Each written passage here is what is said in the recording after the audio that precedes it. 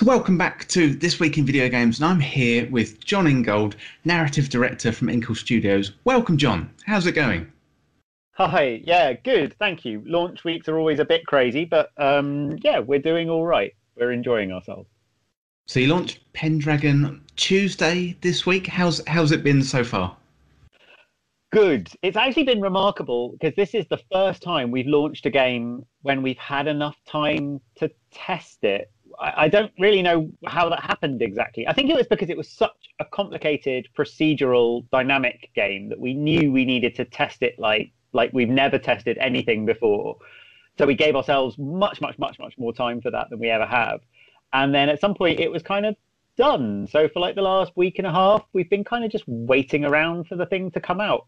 So it's been quite relaxed actually. Normally when we launch things, then you know you've had a hundred people play it and suddenly a thousand people play it and all the things that could possibly go wrong start to go wrong and they all go wrong at once. And then you're kind of up till three in the morning desperately fixing things while people are writing you emails complaining about them. And it hasn't really been like that. So actually it's been quite nice. I feel like maybe we've done our job properly for once or something like that I'm glad. I'm glad it's been, or it sounds like it's been um, a much smoother experience. Um, and for those who kind of don't know about Pendragon, um, could you tell us a bit more about the game?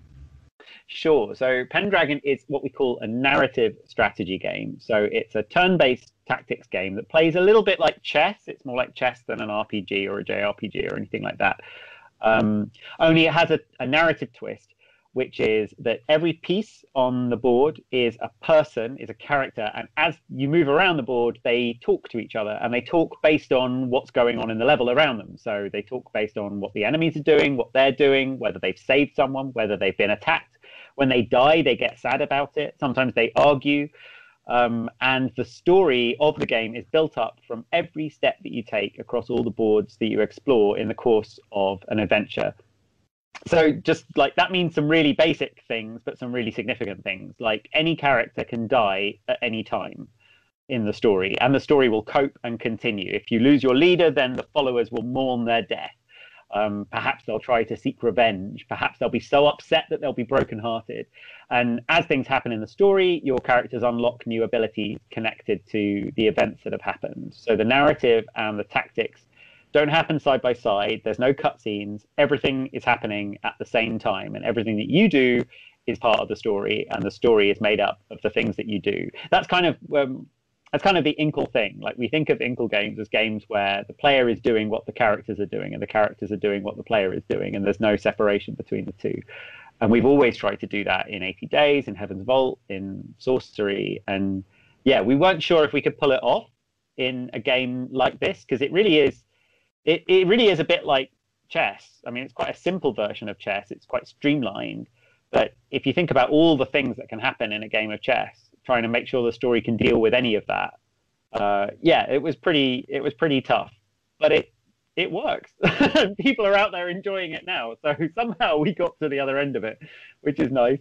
Um, yeah, so that's what it is. I haven't even mentioned the setting. It's Arthurian Knights. It's the fall of King Arthur.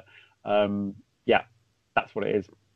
And uh, so I, I I played through 80 days. We we actually talked about 80 days nearly about a, a, a almost a, a, year ago uh, on the podcast uh, when it released on Nintendo Switch, and yes, uh, played um, Heaven's Vault as well. But Tactics seems a bit of a departure for, or, or something something new and uh, innovative for Inkle. How did the how did the kind of tactics element come about? Well, it started actually with a hobby project. So one of our developers, Tom Kail, who's a designer developer, was working hard on Heaven's Vault two, three years ago, I guess, and in his spare time was messing around with designing a tactics game. And he had this idea of making a game that was elegant and streamlined, that had very few rules, but where you could read the board just by reading it. That was the idea. It was no randomness, no numbers, no calculations, no adding up defense and attack points. Just you look at the situation on the board and you take your decision. So it plays almost like a puzzle, but it's it's a tactics combat game. And designing a game like that is really hard and it took a long time and we tried out lots of different rule sets and sometimes they were too complicated and sometimes the first player always won and sometimes they nobody could ever win at all and all that sort of thing until we ended up with this game we really liked but we had the same thought that you know you're suggesting. It's kind of well, Inkle doesn't make tactics games, so nice prototype, but what are we going to do with it? But then we asked ourselves a question, which was, well, why doesn't Inkle make tactics games? If we've got a good tactics game, what's the problem? Oh, okay, the problem is it hasn't got a narrative and we do narrative. Well, how do you make a tactics game tell its story on the battlefield? And when we had that idea, we weren't really sure if we were going to be able to do it, but we thought it sounded like a pretty awesome thing to try to do. So then we started prototyping Pendragon. And I think it took us about three times to get it right. Actually, we we had a couple of prototypes that sort of almost worked, and then this last one that we started last June, maybe, it just everything was in the right place. The game felt right, the balance was right, the way the characters talked to each other was right, and so we started.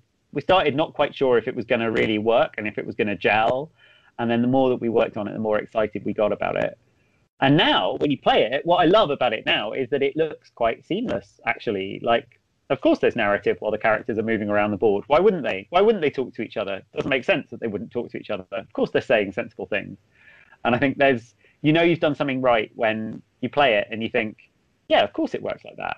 I mean, how could it possibly work any other way? And you think, well, actually, I'm not sure anyone's made a tactics game quite like this before, really. But uh, yeah, so that was how it ended up. So it's been quite a learning curve for all of us. And I think we've ended up with a tactics game with quite different rules from a lot of tactics games, which I know some players find that a little bit confusing because they expect one kind of game and then they get something a little bit different.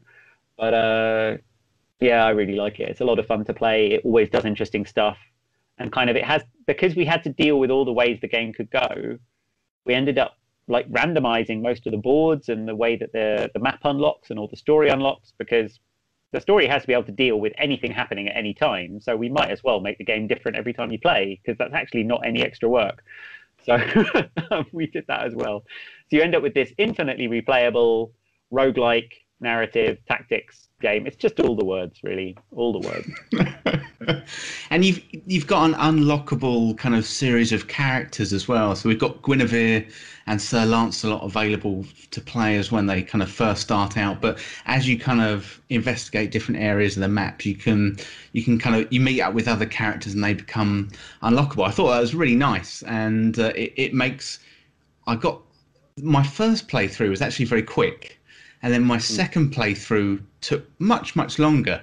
Um, and uh, how do you go about kind of adding in those little um, game mechanics to get people to want to come back and kind of play through again? I think I think one of the interesting things about the game is that you know sometimes you have levels that are ruthlessly hard and sometimes you have levels that are quite straightforward and you can pick your way across and most of them sit in the middle but every level is a little bit different. Like i keep saying it's like chess but it isn't like chess because when you start chess the board is always the same you know the, the opening moves of a chess game are always the same. It takes a while until you get to an interesting situation. I'm pretty bad at chess so i don't really know what i'm talking about i kind of have that, that memory of playing it. Whereas Pendragon's got quite a small board. It's got quite few pieces, but they're all super powerful. So if you change one square, if you take one square off the board and replace it with a rock or replace it with a hummock that lets you go in any direction or, or, or something like that, it completely changes the way the level plays out. If you change one enemy piece from a human to a wolf, they have slightly different AI. And again, it changes the way that the level plays out. So every level is just a little bit different and every time you play a new level it's a challenge you've never actually done or seen before. And i think when when we found that when we started after we built the original prototype we, we started to find little details we could add and every detail made a huge difference to the way the game felt the way the level felt. And that i think is probably the secret behind it you you kind of want to see what the next level is going to be like because none of the levels are ever the same. Um, but i really like the unlockable you mentioned the unlockable characters. That's really fun because yeah, some of them are quite hard to unlock. But if you have a character who's hard to unlock, they can also be ridiculously overpowered. So after you've struggled through with Lancelot playing kind of a very strategic game, then you can unlock the archer who has a bow and arrow. And obviously, a bow and arrow is really useful actually in a tactics game. So you can play a nice sort of uh, a playthrough where you can really just leather everybody from a distance. And then if that gets too easy, fine. Next game you don't play with the archer, you go back to playing with someone else. Um, my favorite is Sir Gawain, who's like a drunk, and he's his starting special move is a kind of in, inside the code base, it's called a Highland Fling, which is not what a Highland Fling is, but basically he grabs people and throws them over his shoulder. it just completely messes up the enemy strategy so, construction. So he's tearing about the place, just chucking people around the board. it's just a lot of fun. And it's very characterful. Um, and you have to figure out how to use it. So there's kind of strategy there too. And as you um, as you kind of play through, um, you can actually unlock um, kind of new powers and new abilities. The way that the pieces kind of move around the board. For example, you can kind of um, run uh, two players through who are kind of uh, right next to each other, or you can kind of jump right to the other side of the board. Um, how how did you kind of or do you have any kind of favorite mechanics uh, like that? I guess you've got to be careful not to make it too overpowered, um, but also, uh, yeah, not, not make it too easy too. Well, like when we started designing them, we were really worried about about the overpowered problem. Actually, we were really cautious about what we introduced because we found that every time we tweaked a rule even a tiny bit, it would have a huge effect on the way the game played out. And then after a while, partly partly we link the abilities to a resource to this resolve point system that you collect up off the board. So that gave us a natural way to pace out the special moves so you couldn't just completely use them all the time. You know i mentioned the archer and her bow shot but actually it's rare to be able to do more than two shots in a level maybe three because of the cost of each shot. So fine that works nicely. But then the other thing we discovered was that actually overpowered moves are really fun. They just need to be expensive. So towards the end of development, we started letting all the crazy ideas that we'd written down and said, no, we, we can't possibly include that. That's too silly. And we put them in the game. We just make them cost a lot. So Morgana Le Fay, who's like a witch, uh, can pick up the ability to turn her opponents into a bush.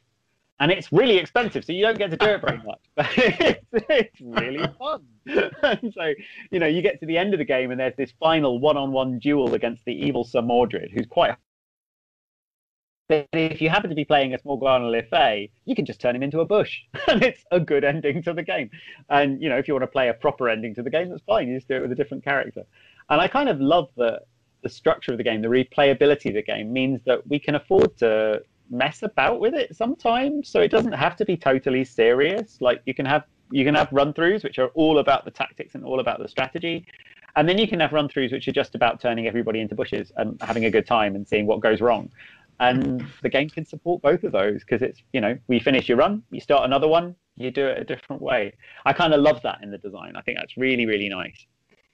It's there's some really touching moments there as well. Um, you've got um, the narrative choices that you can make throughout the game um, sort of all lead up to that kind of final showdown. I, I had a, a Guinevere playthrough, and we got got to the final showdown, and uh, uh, unfortunately sacrificed Guinevere for for King Arthur. But it, I was really I was really touched in that moment. It was yeah. it was a, it was a really sad moment. But there's also moments that are really funny as well, and it, it really sort of um, pulls on the heartstrings one minute, but also um, you know really made me laugh the next. So I think yeah I think you've you've got an absolutely fantastic balance of um, sort of drawing out the emotion of the of the player.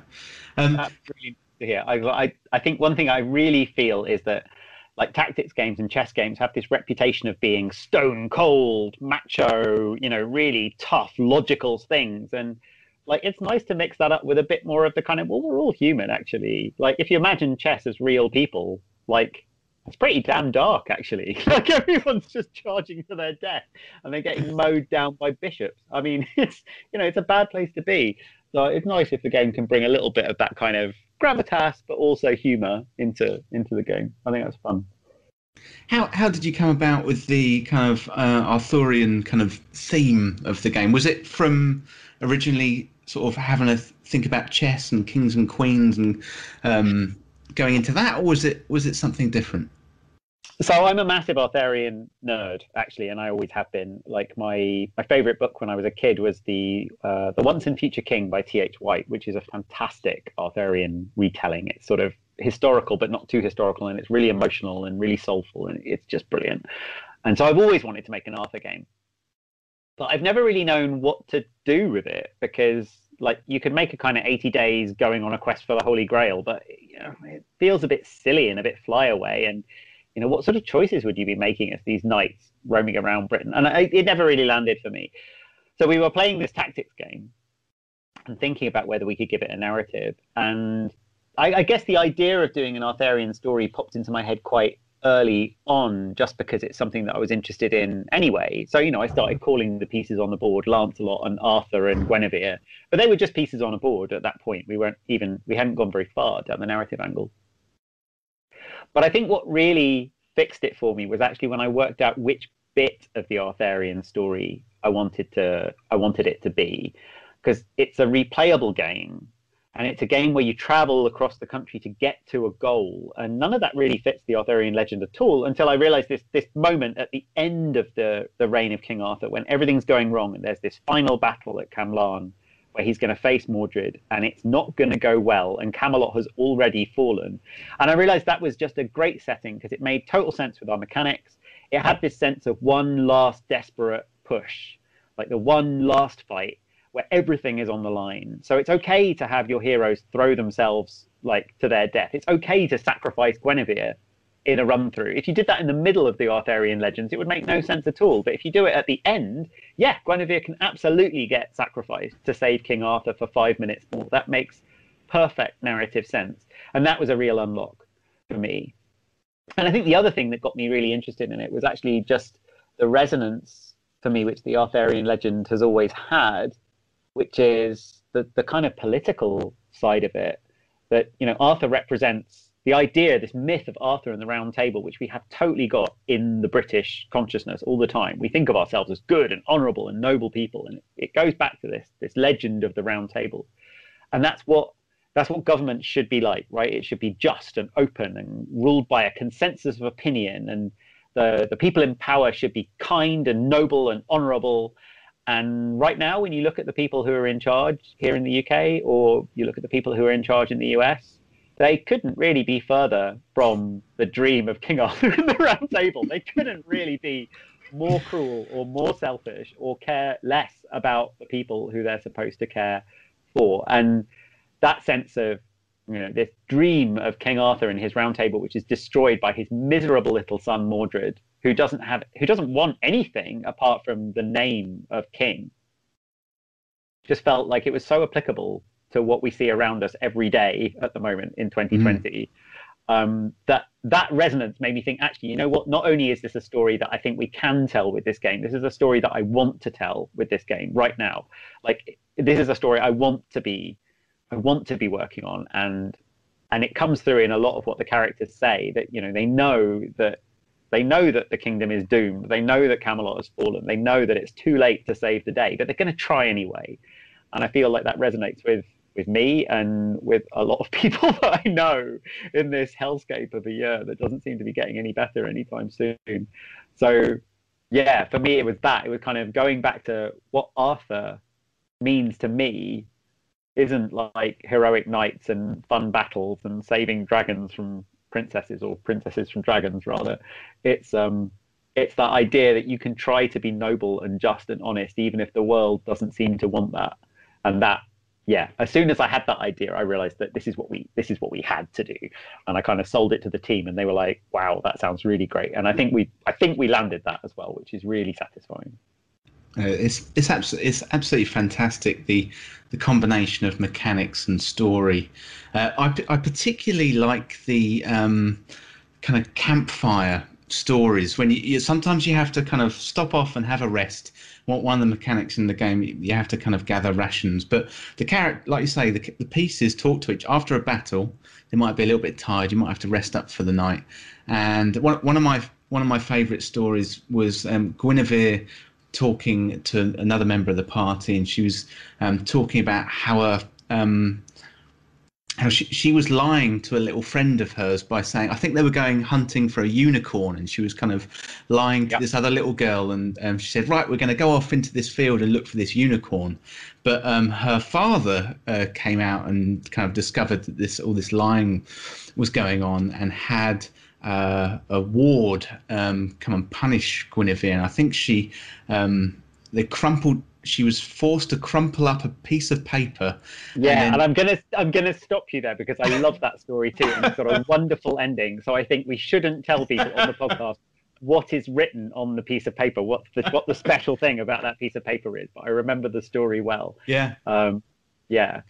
No, I think the campfire tales was I I'm really, really, and thank you for mentioning that because actually a lot of reviewers haven't really talked about it. I guess there's just a lot of things in Pendragon to talk about, but like um, we originally had that idea of characters sitting at the campfire and telling stories to each other, and I wrote one of the stories, and I thought, okay, I'll come back and write some more later when I feel inspired.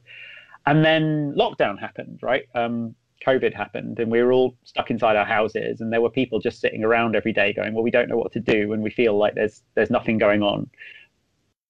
And I kind of I remember thinking at the time, I wish there was something I could do to give people something to do, just to, to bring people together a little bit. And then I thought, wait, hang on, I've actually got a platform for this. So we we put out a call to writers and we said we we take submissions for short stories. We gave quite a clear brief of how long they had to be, and we'll pay for them and we'll put them in the game. And I didn't really know what was going to happen. I thought maybe we'd get 20. I thought we'd probably just get wall to wall porn. I thought I'm basically going to have to just lie and say, write 26 stories and say, look at all these amazing writers. And they're all called John Bingold and Jim Bongold. like, just have to just cover for this. And we didn't. We got 500 submissions um, from all over the world, from people of all sorts of ages, and some of them with games experience, and some of them who'd never written stories before. I think our youngest writer was 16, our oldest is over 50. Um, one of them doesn't speak English. He wrote the story using Google Translate. And I had to tidy up the grammar a little bit, but the story itself was really good. And it was an absolute delight. It was such a, I mean, it was hard work reading through 500 stories, and like the bottom 10% were pretty awful, and the top 10% were astonishingly good. But in the middle, there was pretty hard decision making about what to include and what not to. But it was really wonderful to have that injection of other people's voices and other stories and other ideas into the game. And yeah, I, I I, I dearly love them. When I play the game, I love it when the Campfire Tales come out because it just brings this real humanity to the game, and that's the point. That's the whole point. Is like that these people are people, and they still care about things, and that stories matter. And yeah, no, I'm glad you enjoyed that. That that particular story is one of one of my favorites, and I think it's by a, I think it's by a first-time author. Actually, I think it's he said it was the first story he had ever written. It was certainly the first story he'd ever published. And we've got a few by writers, yeah, who it's their first time. So, is there a chance that maybe um, sort of after launch you might put some more more of those stories in the game, or? Um... I dearly, dearly, dearly want to. Yeah, I haven't announced that we will, um, and I'm not sure that we will. It, it, mostly depends on like time and money and budget and that sort of thing. Like, uh, there's some effort required to to get them into game and to make sure that they're working and and all of that kind of stuff. But I mean, we've got a pile of at least 300 stories, of which I think about half I really like. So, you know, it would be very easy actually to go and get that material and write to people and say, hey, you know, we can we can do an update. So I, I would really like to. But it, it's difficult because I also really want to open up the field again and say, you know, you've played Pendragon, you see how the Campfire Tales work now. You know, are there any new ideas? Um, and I don't know how I would balance those two things because obviously the people who've already written them have written good stuff too. But yeah, I would love to turn Pendragon into a short story publishing platform where we're routinely updating it with new tales. That would be really great. But I think we need to achieve slightly, you know, slightly higher player numbers to really justify that. mm. like, you know, it would be good if we had if we had a few more people playing, then maybe maybe that would be worthwhile. Because there's nothing worse than getting people to write things if they don't get read. That's you know that's always sad. Well, it's, it's fantastic. I love I love the campfire tale, and the story behind it is is is wonderful as well. Um, one one thing I wanted to ask you about, I saw I saw you put out a tweet recently, and you said, um, "This is one that I never thought we'd finish for technical reasons, mainly that it's mad and it shouldn't work." um, yeah. I wanted to ask you about that and sort of the the technical reasons and. Uh, yeah, just sort of dig into that a little bit. I thought it was great. Yeah, sure. So um, on the night before launch, I totted up how many systems there are in the game, and I don't mean mechanics. I mean like AI systems that take decisions about what to what the game should be doing, or heuristic systems that analyze moves and decide what text to run, or text generation systems that work out I don't know the names of locations or what this wolf should say next. And it's something in the order of about 26 and they all work together and they do things like they balance the difficulties of the level or they lay out the geography of the level or they work out which special moves you should get next or or whatever you know just like right down to the actual ai that plays the actual moves and has to be competent because otherwise there's no challenge for you in the tactics game. And that's a lot of different systems and they all work differently and they're all active all the time and they're all interacting all the time and each one of them has the capacity to bring the game to its knees. Like if the board generator creates a board that's too compact you can't have a meaningful level on it. If the special move generator picks the same move every time then you never see the really good ones or you know if it picks inappropriate ones you just can't use them and that's no fun either. But then at the heart of it is the system which talks where the board talks to the story and the story talks to the board. This is kind of the core problem. So on the board, there are some pieces, and you and I, as humans, can look at the board and say, oh, yeah, that wolf is being threatening, and Guinevere is defending Sir Kay, and Sir Kay is to, you know, he's pretty close to home, so he should be feeling confident right now. But the computer doesn't see that the computer sees a list of pieces and places, and that's all it's got. And so you need some way of analyzing the board, deciding what's important about it, passing that to the text generation engine, and saying, right, we think that this is a situation where Kay's feeling good, Gwen's in trouble, the wolf is angry, and then going through some kind of database and saying, what would be an appropriate thing for these people to talk about? And for months and months, we'd have these situations where, you know, Sir Kay would walk out onto the battlefield, a great big wolf would leap right next to him, slavering all over him, and Sir Kay would turn to Guinevere and say, you think we've got enough rations to reach Camlann? Or say, oh, it's raining. And like you go, no, no, there's a wolf there. You're going to die. Um, or people would sort of, you know, die miserably. And then, you know, Guinevere would be cut down by a bear. And Lancelot would say, oh, I really hope we can get on with this journey. And you'd be like, no, that's not an appropriate thing to say after your lover has just been summarily executed before your eyes. Um, and that, you know, for a long time, I thought, well, okay, we have the systems to solve this problem, but can we catch all the cases of it? Can we can we cover the game well enough that it doesn't just say stupid things all the time? And I remember there was definitely a tipping point it might have been in February or something when I was really starting to get quite scared that we weren't going to be able to do it. When suddenly it was like it, it was like when you're learning a language, you, you learn a language and you learn vocabulary, and then suddenly you learn enough words that you can actually kind of say everything that you want to say, and that's a tipping point. Suddenly you can speak French when you couldn't speak French before. I can't speak French, but I, I've seen people who can. Um, and it was like that. The game, one minute was this robot just spewing out sentences that were inappropriate all the time. And then we put in enough flags and enough tests that suddenly it was right more often than it was wrong. And it was magic. And it was like, oh my God, this thing's alive. And then we were just rapidly hunting down edge cases. And I said, I think at the top of the interview that we, we did a lot of testing. And a lot of that testing was people playing it and saying, you know something incredibly out of context just happened and we go oh yeah i can see it needs to know about this and we need to alter that um, and bringing that bringing that home was terrifying because I, I don't i really don't think i've ever seen a game attempt what we're attempting in pendragon like actually like specifically narrating what's happening on the board as it happens with no knowledge about what's going to happen next because that's up to the player um, and we really weren't sure that we were going to be able to do a decent job of it. And I think I think it's seamless enough that people don't really even realize what it's doing, and that's a win. Um, but yeah, I really wasn't. I really wasn't confident. I mean, even on launch, I wasn't confident that we weren't just going to get a thousand emails from people saying, "Here are all the edge cases you didn't find." Um, which hasn't happened yet. Actually, we've had some bugs, but they've all been, you know, of the nice kind of I click this button and the game crashes variety, which are actually really easy to fix. I'm not scared of those things at all. Um, so yeah, no, I, I didn't think it was ever going to get finished. I don't want to work on anything this complicated ever again, but I know we're going to. no, I just like to write a story. I, I don't know like and uh, so talking about testing there, and obviously 2020 is um, a bit of a unique year in most of our lives, uh, probably all of our lives. Um, has has that thrown up some sort of unique challenges for Inkle and um, or and how have you kind of got around those challenges? Yeah, I think I think it has. Though it's been interesting because we we work remotely anyway. We have done for oh about two years now.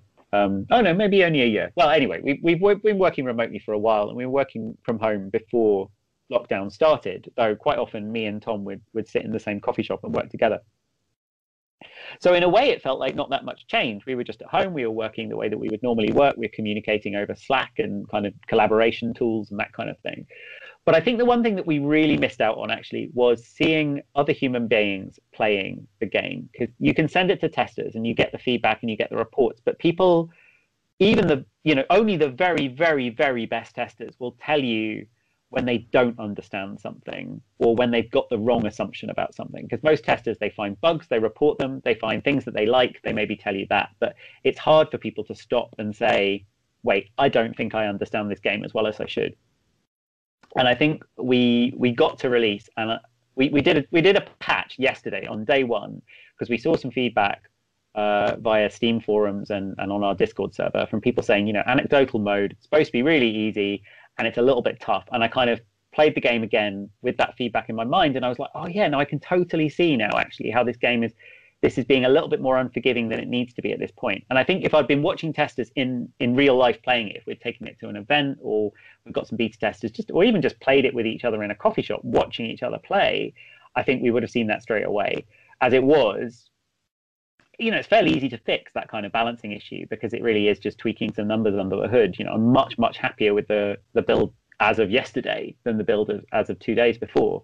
But that's a real shame because the game goes out to reviewers and, you know, some reviewers have a hard time with it and some reviewers really kind of get steamed up about it. Um, and, and, and I regret that. I regret that. But but there's only so much you can do. Like I, I've heard of other game studios sort of getting people to film themselves playing the game and then send that video footage over so they can they can get a bit of that watching someone play it in, in real life but it's really hard to replicate the experience of, of being in a room with someone who's discovering your game for the first time.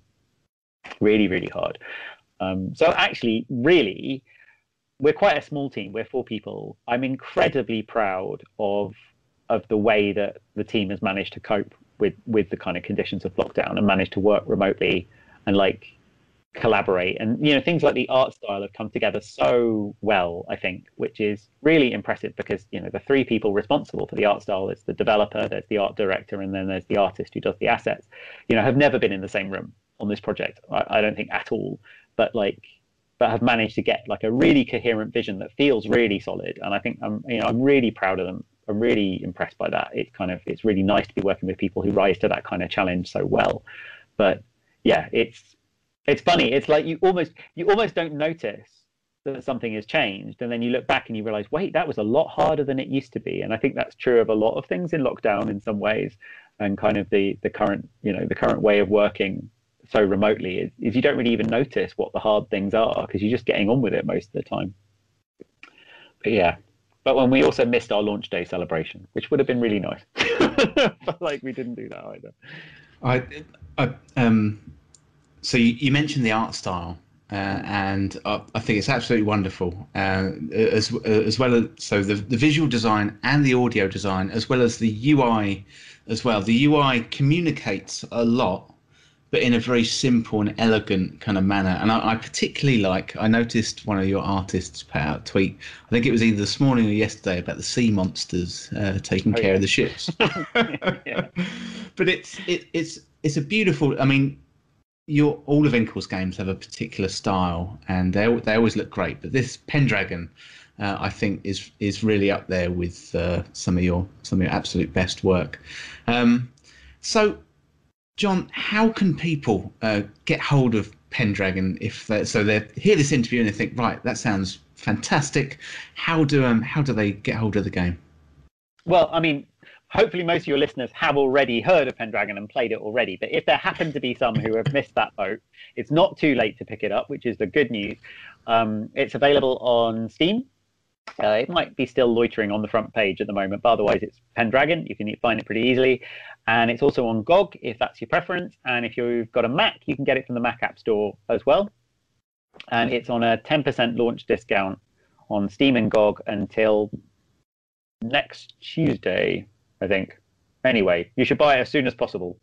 Uh, and if you do play it and you enjoy it, please leave us a review because we're a tiny studio and people don't leave reviews for tiny studios and they make a huge difference.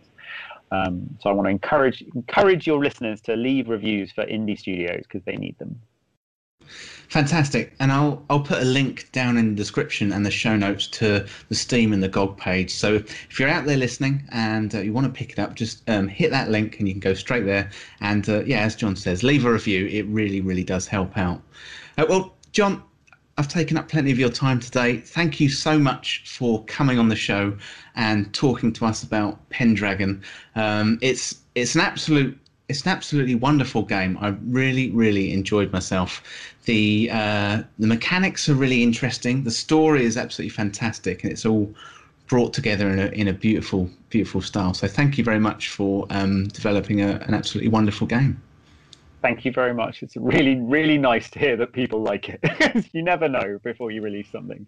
You never know if it's going to work. So it's really great. Thank you very much.